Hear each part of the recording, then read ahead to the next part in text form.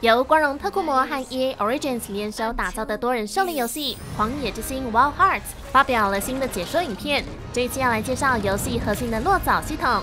在本次的影片中，官方示范了要如何利用各种性质的落藻来狩猎巨大的怪兽。我们可以利用基本落藻机甲、火炬以及炫女来进行跳跃和飞行等动作，还可以融合多个落藻，将它们组合成巨锤、星雷等不同的大型陷阱。甚至还有像是能量炮的天之炮，能直接把画兽击倒；跟能把猎人们高高吹起的旋风台等超炫炮的机关。真不知道实际上要消耗多少落藻资源，会不会大家都只架这个轮流处刑啊？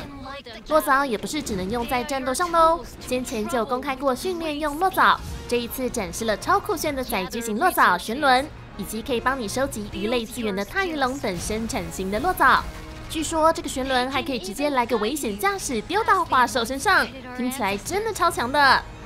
《狂野之心 Wild Heart》预计在二零二三年二月十七日于各平台推出。喜欢陷阱战的猎人们，准备好一起踏上东之国土狩猎。现在还有点时间，赶快去巴哈商城预购起来吧。